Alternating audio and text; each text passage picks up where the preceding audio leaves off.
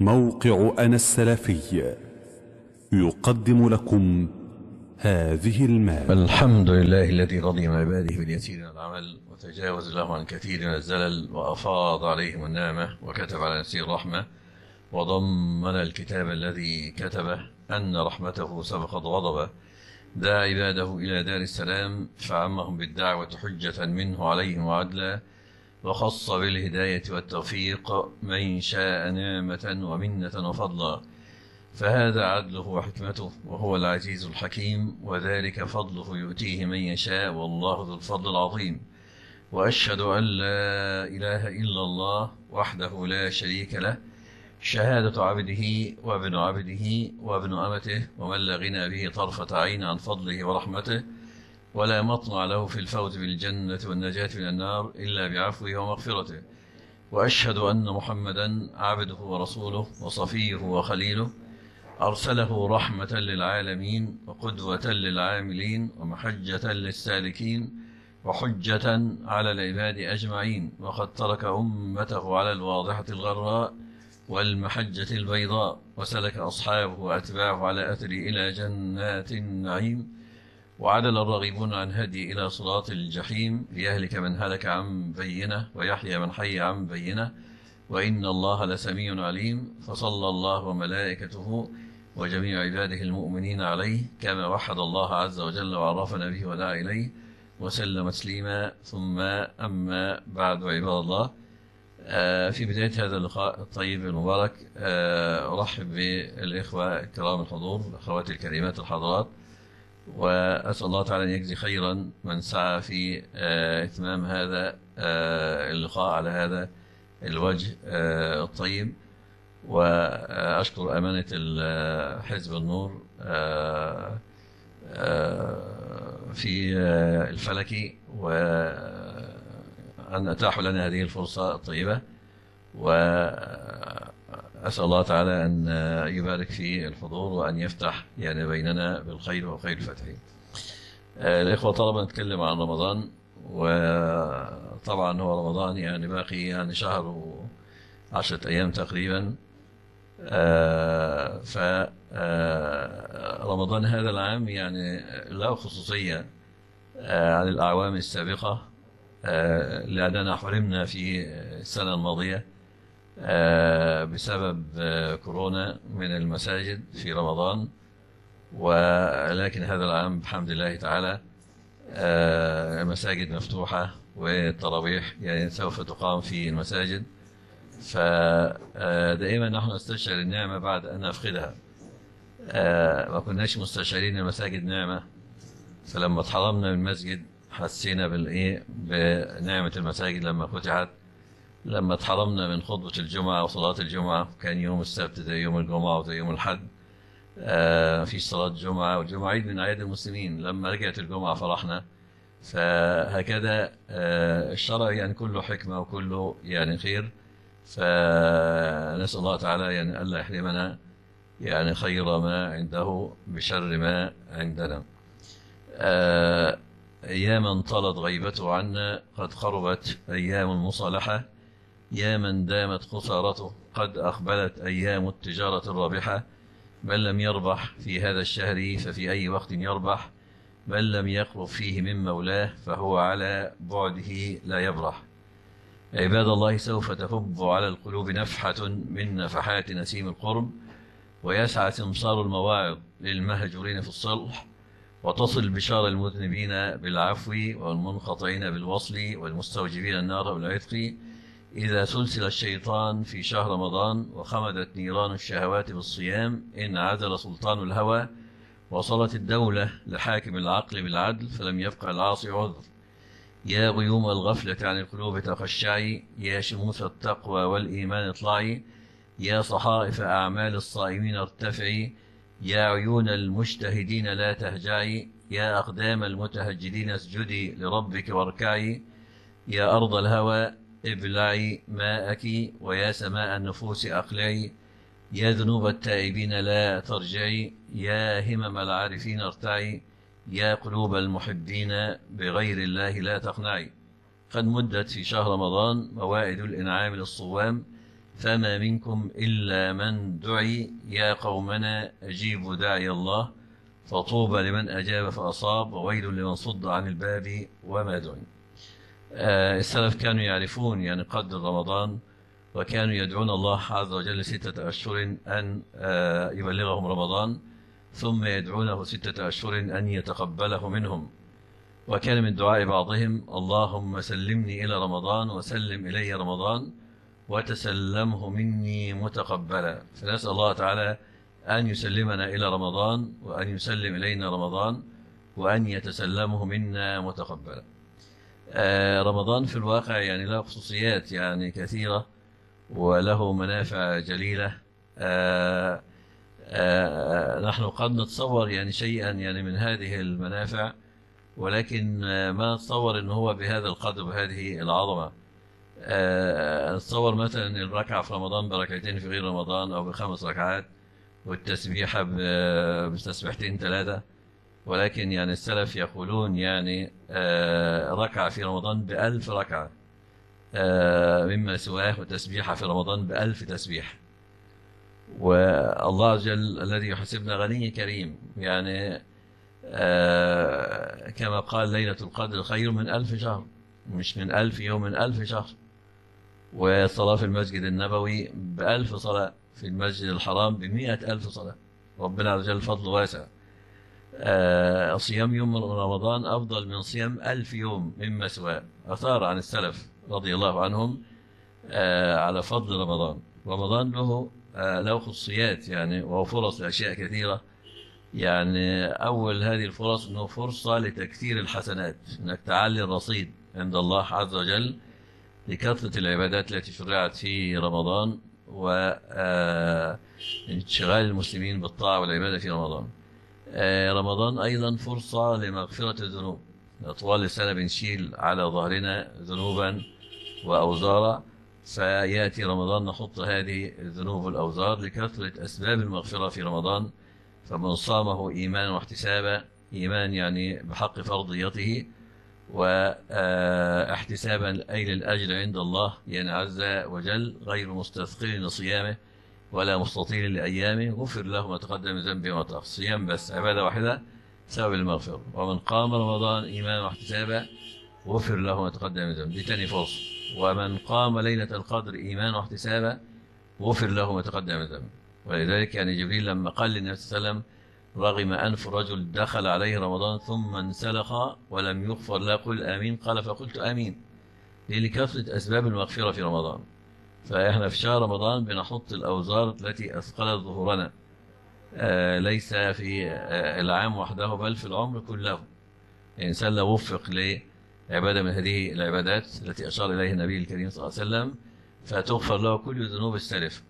فطبعا يعني ما يدريك أنك تدرك رمضان آخر. وكم من أناس كانوا معنا في الأعوام السابقة وهم الآن تحت أضراق الثرى خاصة مع وباء كورونا وكثير من الأحباب رحلوا ليس كبار السن فحسب ولكن شباب وفي عمر الظهور يعني رحلوا من هذه الدنيا. فما يدرينا إذا بلغنا رمضان هذا العام أن يكون لنا فرصة أخرى أن ندرك موسم آخر من مواسم المغفرة. ف يعني أول شيء من من أهمية رمضان هو فرصة لتكثير الحسنات كثر الرصيد الفرصة الثانية إنه فرصة للمغفرة. كثره أسباب المغفرة. والأمر الثالث يعني رمضان يعني هو يعني فرصة لأن ترتفع رفعه نوعية من الإيمان إلى التقوى. يا أيها الذين آمنوا كتب عليكم الصيام كما كتب على الذين من قبلكم لعلكم تتقون. يعني تصلون بالصيام إلى تقوى الله. فإن قال قائل لماذا يعني كان الصيام له خصوصية بالوصول إلى التقوى؟ كل العبادات توصل إلى التقوى لقوله عز وجل يا أيها الناس اعبدوا ربكم الذي خلقكم والذين من قبلكم لعلكم تتقون. فالغاية التقوى والوظيفة العبادة فالصلاة توصل إلى التقوى والصيام والحج والعمرة والذكر الصلاة على النبي صلى الله عليه وسلم. ولكن قالوا أن الصيام له خصوصية. يعني في الوصول إلى التقوى لأن تعريف التقوى هو تعريف الصيام. يعني قالوا في تعريف التقوى أن تترك ما تهوى لما تخشى. ما تهوى من الطعام والشراب والشهوة لما تخشى من عقوبة الله عز وجل.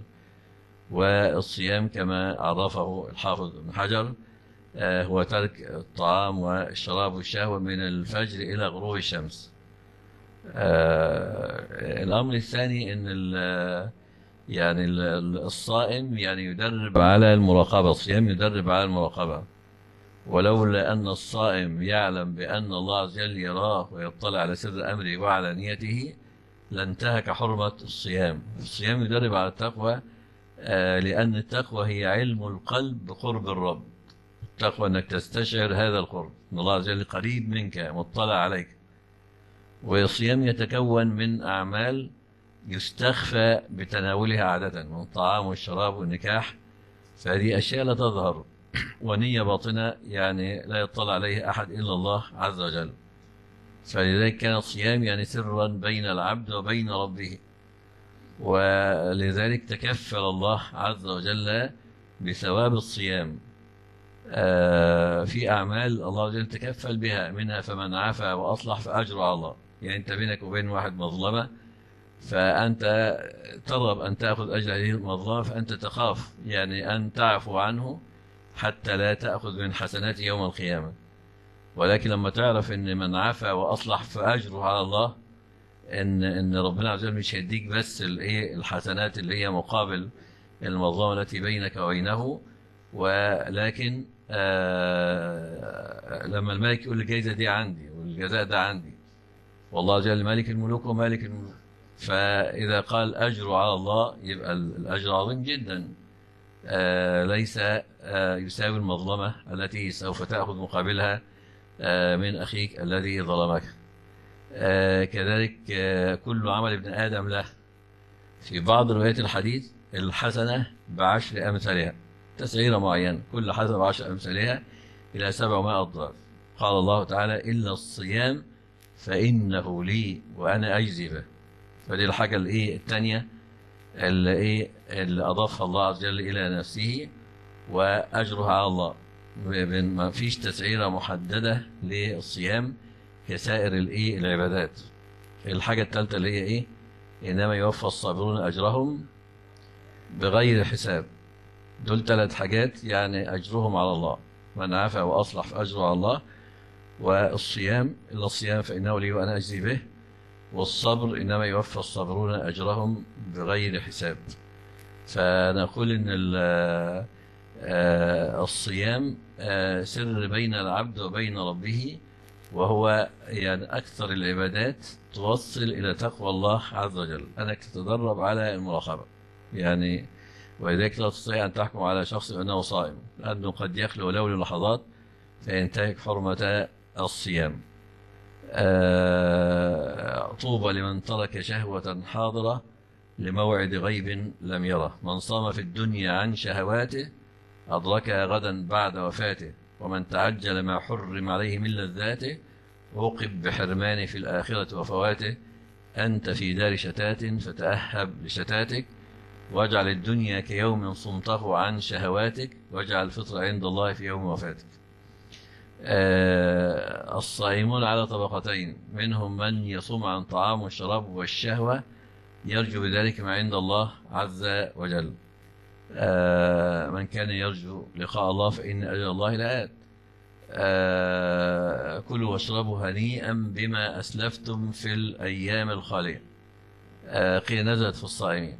فالصائم له ما شاء الله من الطعام والشهوة والشراب والحور العين يعني في الجنة جزاء الصيام. ومن صام عما سوى الله فعيده يوم لقاء أهل الخصوص من الصوام صومهم صون اللسان عن البهتان والكذب والعارفون وأهل الأنس صومهم صون القلوب عن الأغيار والحجب. الصيام ليس مجرد آه ترك الطعام والشراب آه والشهوة فحسب.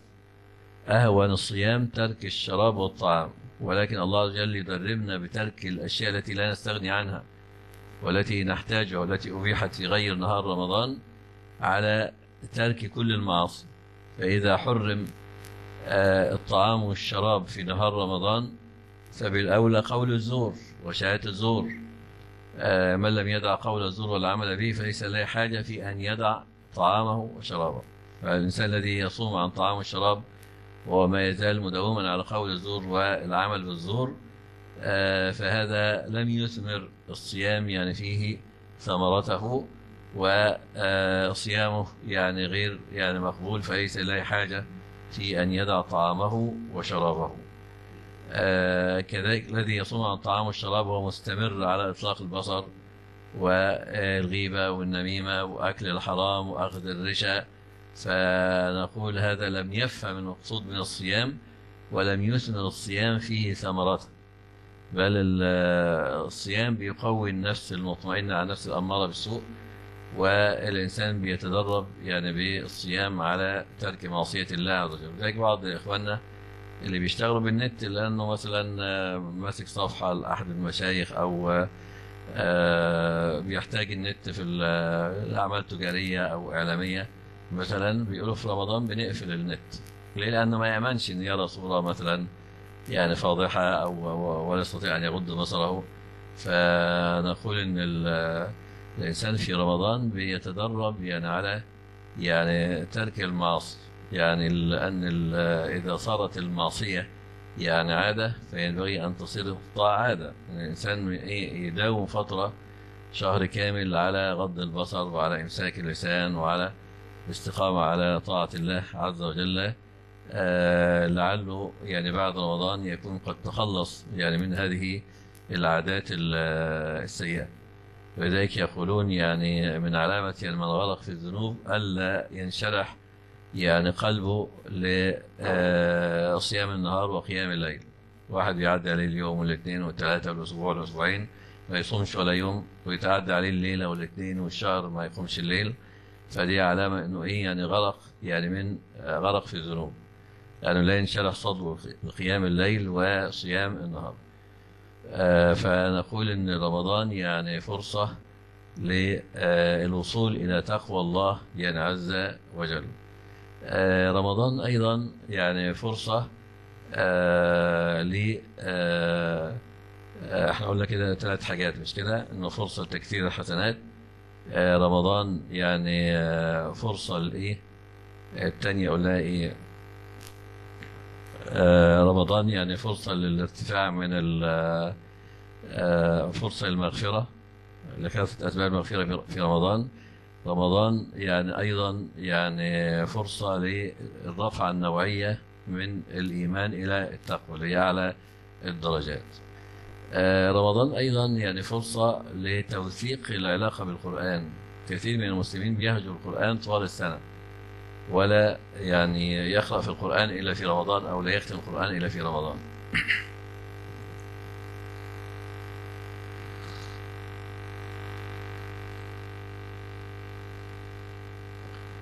فطبعا شهر رمضان هو شهر القرآن.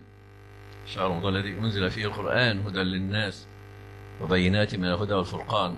فشهر رمضان هو شهر القرآن. مش معنى كده إن إحنا نهجر القرآن في رمضان في غير رمضان. لا معنى كده إن إحنا يزداد اهتمامنا بالقرآن في رمضان. حتى الإمام مالك يعني كان إذا دخل رمضان ترك الحديث ومجالسة أهل العلم وأقبل على قراءة القرآن من المصحف. وكان السيدة عائشة تقول إنما هو إطعام الطعام وتلاوة القرآن. إن كل وقت له عبادة معينة.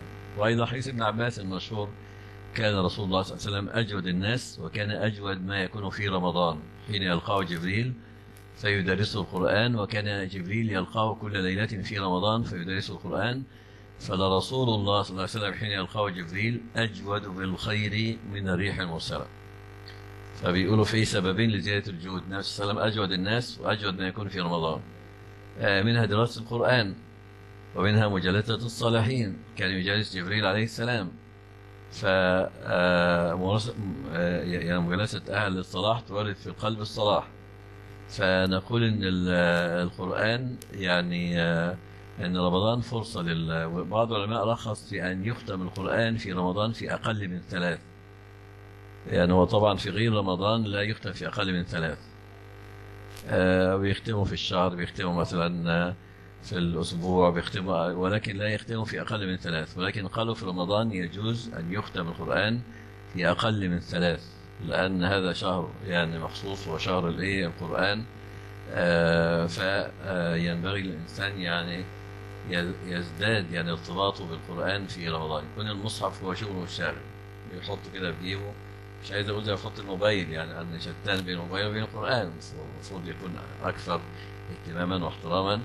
فكلما وجد فرصة بيقرأ بحيث إن هو يختم على قد ما يقدر ثلاث مرات أربع مرات عشر مرات إن هو يختم ختمات كثيرة يعني في غير التراويح دي عبادة أخرى يعني. يعني يعني ختمات القرآن ينبغي أن تكثر في رمضان كما كان من هدي السلف رضي الله عنهم كانوا يتركون الحديث ومجالسة أهل العلم ويقبلون على قراءة القرآن من المصحف. فرمضان فرصة لتوثيق العلاقة بالقرآن. شهر المراجعة. النبي صلى الله عليه وسلم كان يراجع جبريل القرآن. فشهر المراجعة وشهر التلاوة وشهر القيام بالقرآن وشهر العمل بالقرآن رمضان يعني أيضا شهر الوصول إلى الدرجات. لما تشوف أسباب الدرجات النبي صلى الله عليه وسلم يقول إن في الجنة غرفا يرى ظاهرها من باطنها وباطنها من ظاهرها قال لمن هي يا رسول الله قال لمن أطعم الطعام وأطاب الكلام وصلى بالليل والناس نيام. دي غرف يعني العالية اللي في الجنة اللي هي الأهل الدرجات. آه لمن آه يعني اهتموا بهذه العبادات الثلاثة أطعم الطعام وطبعا شهر رمضان هو شهر إطعام الطعام وأطاب الكلام وصلى بالليل والناس نيام. عود في رمضان لا يتكلم إلى الكلام الطيب حتى لو سبه أحد أو قاتله ما لا يسب ولا يقاتله مع أن جزاء سيئة سيئة مثلها ولكن يعني في رمضان لا خصوصية لأن الصائم ب يتخلق بأخلاق المحسنين. فإن سبه أحد أو قاتله يقول إني صائم إني صائم. هذا ما فيش بأس. لو كان في الفريضة يعني يقول بلسانه إني صائم ليكف نفسه عن خصمه ويكف خصمه عنه في غير الفريضة. يعني يقول في نفسه إني صائم إني صائم. كان صائم صيام تطوع في غير رمضان. زي زكاة المال الواجبة. يعني قالوا الأفضل أن تشهر. فلان بيطلع زكاة ماله. لأن دي شعيرة من شعائر الإسلام. ينبغي أن تعلن ويعرف الناس بحيث أن الذي يخرج زكاة المال يعلم بنذكره بهذه العبادة وهذه الفريضة. ولكن لو بيتصدق بصدقة يعني من باب النوافل فمن السبع الذين يظلهم الله عز وجل بظل يوم لا ظل إلا ظله رجل تصدق بصدقة فأخفاها حتى لا تعلم شماله ما تنفق يمينه. والحديث أتى مقلوبا في صحيح مسلم. حتى لا تعلم يمينه وتنفق شماله. وطبعا الإنفاق والإعطاء والأخذ يكون باليمين. آه فالصحيح حتى لا تعلم شماله ما تنفق إيه يمينه. يعني بيخفي العمل يعني آه يبالغ في إخفائه آه ولذلك ضرب مثل بهذا الأمر حتى تعلم شماله ما تنفق يمينه. فشهر رمضان هو شهر الدرجات شهر الوصول إلى الدرجات طعام الطعام وإفشاء السلام أو طيب الكلام والصلاة بالليل والناس نيام. شهر رمضان أيضا فرصة لأن نترك العادات القبيحة. يعني لو واحد مدخن مثلا بيقعد شهر كامل ما يدخنش في رمضان فيمكن أن يترك هذه العادة. من اعتاد يعني إطلاق البصر فيمسك بصره في رمضان. يعني حتى بعض المتبرجات بيجوا في رمضان يعني يتسترن يعني وده طبعا فعل حسن احترام للشهر وإن كان واجب عليهم الحجاب يعني في كل وقت وفي كل مكان. ولكن يعني كونهم إن هم إيه يعني يتبجحون بهذه المعصية. يعني في رمضان يعني حفاظا على العبادات وعلى الطاعات و وحفاظا على يعني المسلمين. حتى لا ينظر إليه أحد فيحمل ذنبا ويتحمل أيضا ذنبا. فنقول أن شهر رمضان هو شهر التدرب على ترك المعاصي خاصة التي صارت يعني عادة والله عز وجل يعني جعل يعني هذا الشهر تدريب على الطاعة وترك المعصية. ولذلك يعني ورد في الصحيحين إذا جاء رمضان فتحت أبواب الجنة وغلقت أبواب النيران وصفدت الشياطين. ونادى مناد يا باغي الخير أقبل ويا باغي الشر أقصر. يعني فشهر رمضان إيه يعني تفتح أبواب الجنة. يعني لاستقبال الطائعين وصعود الأعمال الصالحة إلى الله عز وجل. في رواية في صحيح مسلم فتحت أبواب السماء. في رواية أخرى في صحيح مسلم فتحت أبواب الرحمة و- وطبعا ما فيش آه، منافاة يعني بين ال- الجمع واجب آه، مهما أمكن. ما ينافيش فتح أبواب الجنة فتح أبواب الرحمة فتح أبواب السماء. فنقول شهر رمضان أيضا يعني آه، هو يعني شهر آه، يعني تصفد فيه الشياطين شياطين ال- الجن. فالإنسان بقى إيه يقدر على شيطان شيطان نفسي أو شياطين الإنس ويجتهد في العبادات يعني في يعني شهر رمضان. فشهر رمضان أيضا مما يعني يميزه آه، إنه شهر إجابة الدعاء. ولذلك يعني آية الدعاء أتت في وسط آيات الصيام في سورة البقرة. وإذا سألك عبادي عني فإني قريب أجيب دعوة الداعي إذا دعان. وقال أجيب دعوة الطائع ولا قال المعتمر ولا قال الذي في المسجد ولكن قال أجيب دعوة الداعي أي داعي إذا دعان إذا ما شرطش أي شروط أخرى. فعلامة على الاستجابة في رمضان. الله عز وجل طبعا إيه؟ أما يجيب المضطر إذا دعاه. وقال ربكم ادعوني أستجب لكم. إن الذين يستكبرون عن عبادتي سيدخلون جهنم داخلين ولكن يعني شهر رمضان هو شهر إجابة الدعاء. آه، فالعباد يستجيبون لله عز وجل في رمضان بالصلاة والصيام والحج والعمرة وغير ذلك من الطاعات والعبادات. وال- والعمرة وغير ذلك من الطاعات والعبادات. فهم على أمل أن يستجيب الله عز وجل لهم. فليستجيبوا لي. ده الشرط الذي شرطه. آه، أو ال- آه، الذي جعله يعني من من أسباب يعني قبول الدعاء استجابة لله عز وجل والإيمان واليؤمن به لعلهم يرشدون. فنقول يعني شهر رمضان أيضا يعني شهر آه، الدعاء. آه، شهر رمضان شهر التوبة لأن إذا صفدت الشياطين في رمضان إذا فتحت أبواب الرحمة في رمضان وأبواب الجنة وأبواب السماء فكثير من الملتزمين كان بدايته في رمضان. أنه هو صلى التراويح آه، مثلا أو آه، آه، كان تارك للصلاة ولما صام لأن أكثر ناس يهتمون بالصيام أكثر من الصلاة يعني في بلادنا. في بلاد أخرى يعني لا يهتمون لا بالصلاة ولا بالصيام. يعني أخي بيحكي لي كان في العراق بيقول كان هو الوحيد في البلد اللي صايم. وكان يجي له الأكل من من مجلس المدينة يجي له الإفطار من مجلس المدينة وهو الوحيد اللي صايم في البلد. ف... فنقول إن ال... وكانت محلات الأكل مفتوحة عادي خالص الناس تدخل تاكل في و... و- ولذلك البلاء لما جالهم بيجي للبلاد اللي هي أبعد عن الشرع يعني. فنسأل الله العافية. فنقول إن ال... إن شهر رمضان يعني شهر التوبة والاستجابة لله عز وجل شهر الرجوع إلى الله عز وجل. يا باغي الخير أقبل ويا باغي الشر أقصر. فتجدون أهل الخير أكثر خيرا في رمضان.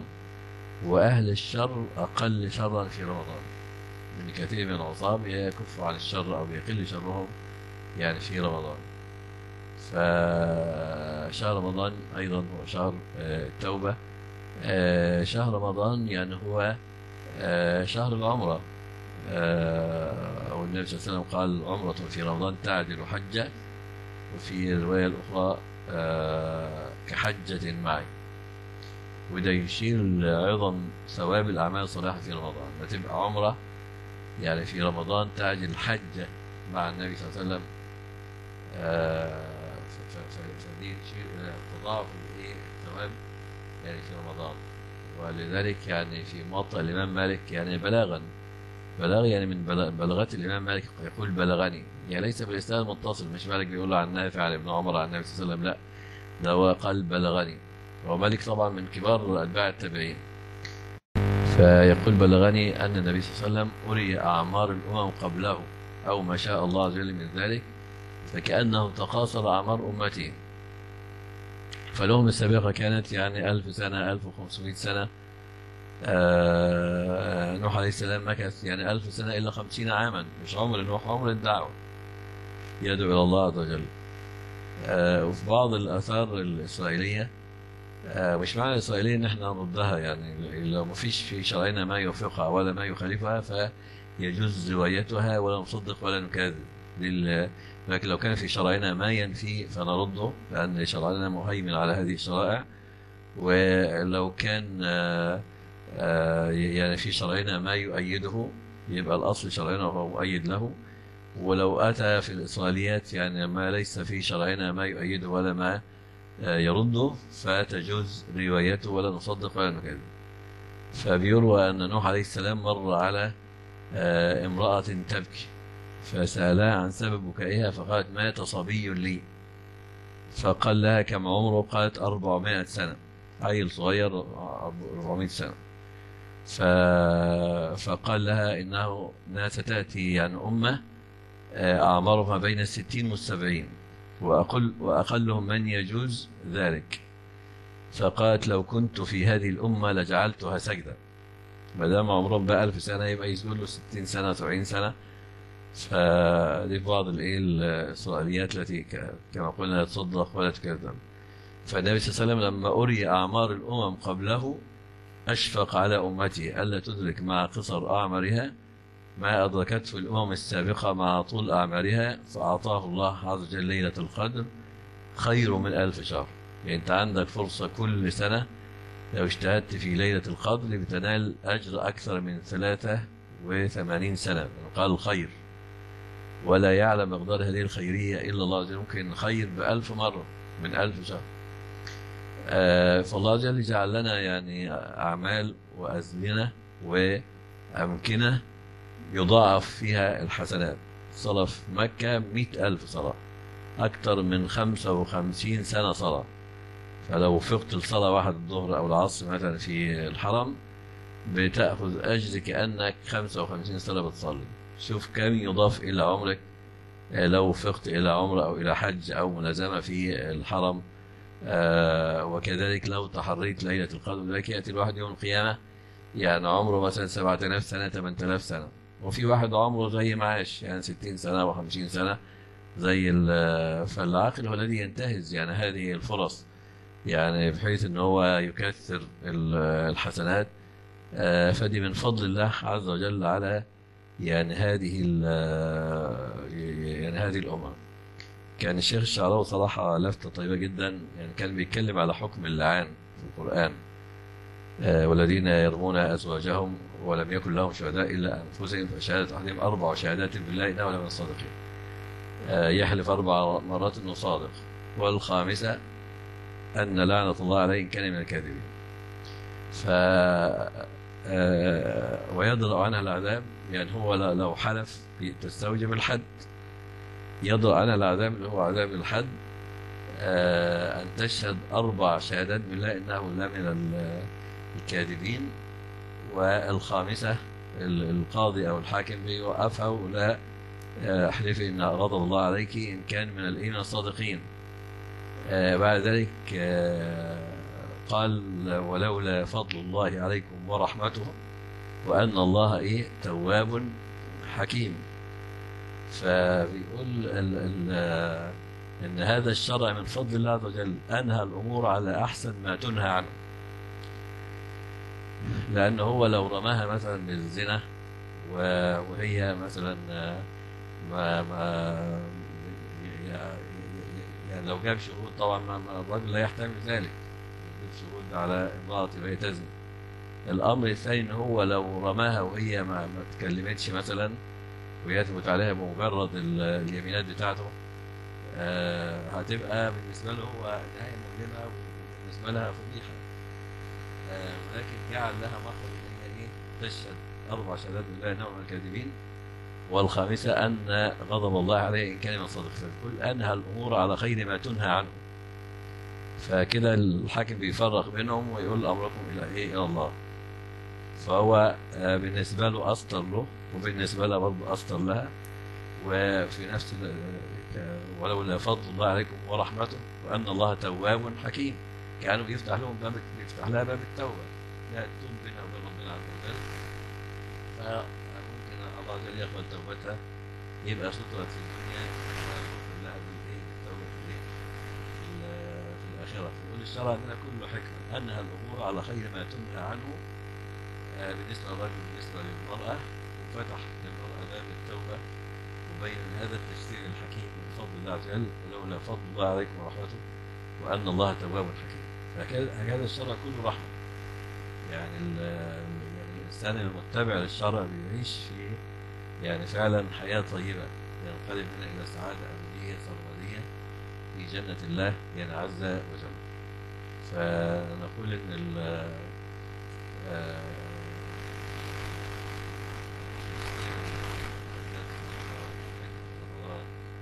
يعني يعني كله فوائد كله مصالح. عندك شهر كامل موسم تدريب معسكر تدريب مشغول بالعبادات بالنهار وبالليل وفي كل وقت وبين ال واللي مش متعود يقوم قبل ال ال- الفجر عنده فرصة يقوم آه، آه، ويدعو الله عز وجل في هذا الوقت قبل الفجر واللي مش متعود على الصلاة في المسجد. يعني كثير من الناس يعني أيضا يعتاد على الصلاة في المسجد يعني في رمضان. و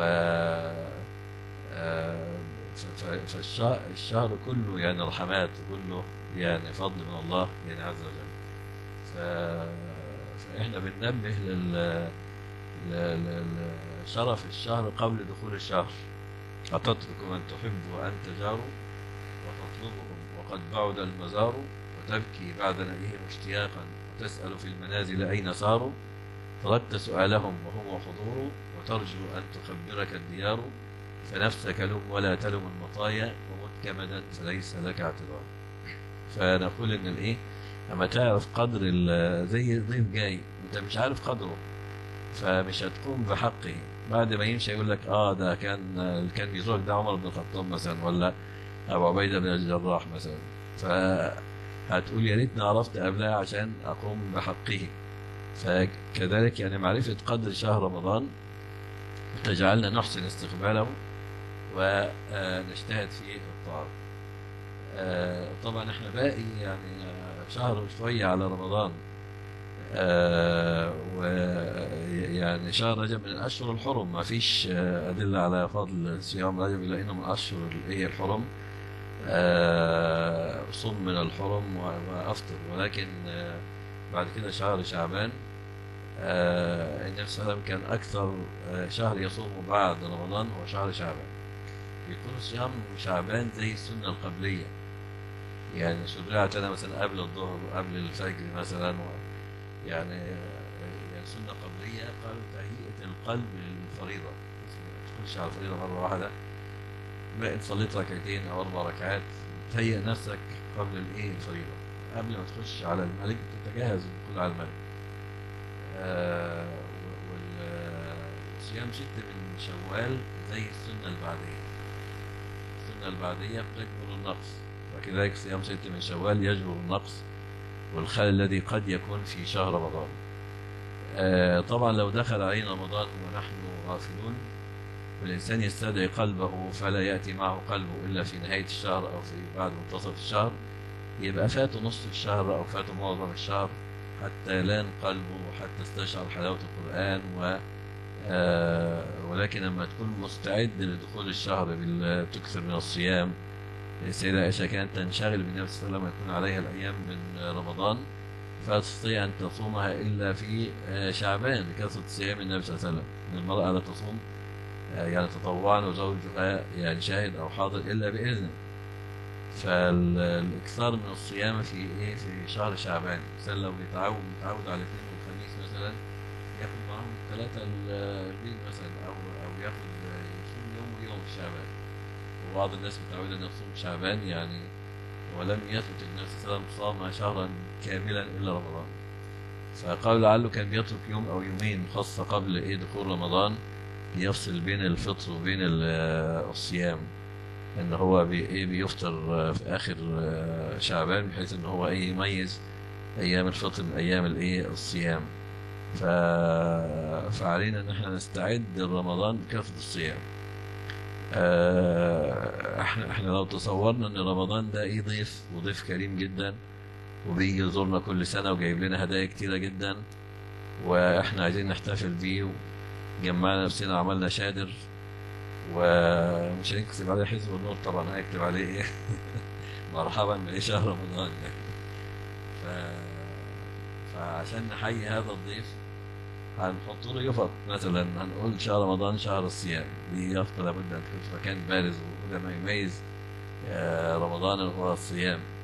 آه، شهر رمضان شهر القيام شهر التراويح.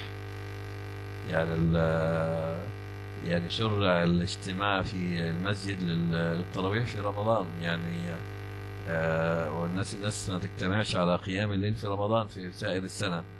إلا إذا كانوا موجودين اتفاقا وبعد درس أو آه، كانوا بيفطروا في المسجد وقالوا يلا نصلي ركعتين يعني ما يجمعش الناس للقيام جمع الناس للقيام. ولكن في رمضان يعني في أدلة النبي صلى الله عليه وسلم صلى ليلة صلى بصلاة الناس في المسجد.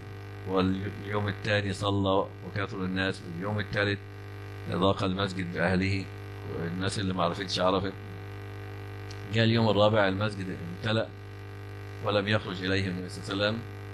واعتذر لهم صلاة الفجر قال لم يخف علي مكانكم ولكن خشيت أن يفرض عليكم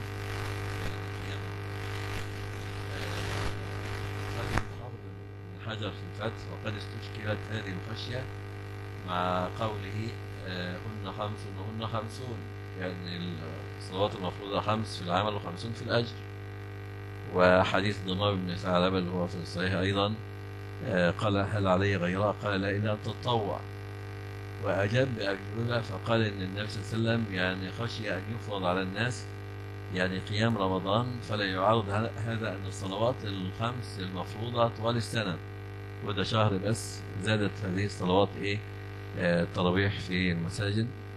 والجواب الثاني هو ذكر أجوبة كثيرة ولكن دول أرجح جوابين ورجح هو الجواب الثاني. آه، قال إنه خشي أن يفرض على الناس يعني قيام رمضان في المساجد.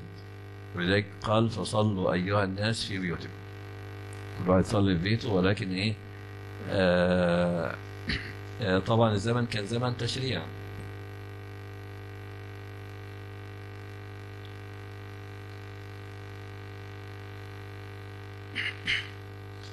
فلما زالت هذه الخشية وانتهى زمن التشريع. ومر عمر رضي الله عنه على مسجد النبي صلى الله عليه وسلم ورأى الرجل يصلي وحده ورجل يصلي في بصلاة الرجل ورجل يصلي في يصلي بصلاة الرهط فقال لو جمع- جمعتم على قارئ واحد لكان أعجب فجمعهم على أبي بن كعب فكان أبي بن كعب وتميم الداري يتناوبان القيام بالصحابة في آه، آه، أو بالمسلمين في الدولة العمرية. ومر على المسجد صلاة نعمة البدعة هذه والتي ينامون عنها أفضل. بعض الناس تمسك بهذا الكلام وقال هذه بدعة وبعضهم قال التراويح في المساجد ليست من السنة. طبعا وهذا جهل ليه؟ لأن الصحابة أجمعوا على صحة فعل عمر. وعلي بن أبي طالب لما مر بالمسجد في رمضان بعد وفاة عمر قال نور الله قبر عمر كما نور مساجد المسلمين في رمضان. وحصل إجماع والإجماع حجة شرعية. وأيضا آه النبي صلى الله عليه وسلم يعني صلى غير ليلة ورغب في قيام الليل في رمضان ولكن لم يستمر للخشية المذكورة لأنه زمن تشريع وخشي أن يفرض على الناس قيام رمضان في المساجد أو يكون المسجد شرط لصحة القيام آه، فلا آه، يعني يجوز له أن يصلي التراويح في بيته. فنقول إن الإيه أن مما يميز رمضان أيضا هو شهر التراويح شهر ال- الاجتماع على العبادة والطاعة. الإنسان يسهل عليه أنه يصلي في المسجد بجزء مثلا في اليوم أو بجزئين ولكن أكثر الناس يصعب عليهم أنه يصلي لوحده في البيت بجزء أو بجزئين. وإن كان أهل القرآن وأهل العبادة والطاعة يعني يخف عليهم ذلك. ف ومن صلى مع إمامه حتى يفرغ كتب له قيام ليلا. فبننصح بالصلاة في المسجد يعني حتى لو صلاة خفيفة وما تنصرفش حتى ينصرف الإمام. وأنا رأيت بنفس الشيخ العتيمين لما كانوا في الحرم كان كانوا بيصلوا آه، بيوتروا مرتين يعني في التراويح الأولى وفي التهجد يوترون. وأفتاهم الشيخ ابن باز قال لا وتران في ليلة فصاروا لا يوترون في الإيه؟ في التراويح الأولى في الحرم. فكان بعد أن يسلم الإمام كان يشفع هذا الوتر يقوم يأتي بركعة زائدة فأنت صلي مع الإمام يعني حتى يفرغ وهيصلي 11 ركعة مثلا أنت خليهم 12 ركعة وأنت همتك أعلى من همة ال- الناس في المسجد بيراعى فيها في المسجد الضعفاء والصغار فأنت كمل في البيت يعني أعمل لك وقت تاني مثلا قبل الفجر كمل تهجد أو في مسجد تاني بيصلي تهجد صلي مرة ثانية ولكن إضمن قيام الليلة يعني مع التراويح الأولى ولو وفقت المسجد آخر أو وفقت إنك تصلي في بيتك آه، صلاة أطول فيكون إيه يعني أفضل. حتى تدخل في الحديث آه، من قام آه، رمضان إيمانا واحتسابا غفر له ما تقدم من ذنبه. تنتبه من أول ليلة وتحرص على كل أسباب المغفرة لأن إيه لو فاتك سبب ما يفوتكش السبب الآخر. لو هو لو فاتك الصيام يعني ما صمتش الصيام كما ينبغي ووقعت في معاصي وكده ف آه، لم يكن إيمانا كاملا واحتسابا كاملا يبقى أنت إيه آه، برضه صليت آه، قمت رمضان ايمانا واحتسابا تتحرر ليلة القدر مش عارفين الاعتكافات اخبارها إيه على أي حال يعني تتحرى في بيتك لو لم يكن في المساجد يعني اعتكافات يعني فأحرص يعني في العشر الأواخر يعني على تحري ليلة الإيه ليلة القدر. فرمضان كله خير كله يعني بركة. ومن فضل الله عز وجل على العبد أن يوفق للزمان الشريف أو للمكان الشريف وأن يعان على طاعة الله عز وجل. أن يقدر يصلي ويقدر يصوم ويقدر يتصدق ويقدر يطعم الطعام. فنسأل الله تعالى أن يبلغنا رمضان وأن يسلمنا إلى رمضان وأن يسلمه منا متقبلا. أقول قولي هذا. أستغفر الله لي ولكم وصلى الله وسلم وبارك على محمد وعلى آله وصحبه وسلم.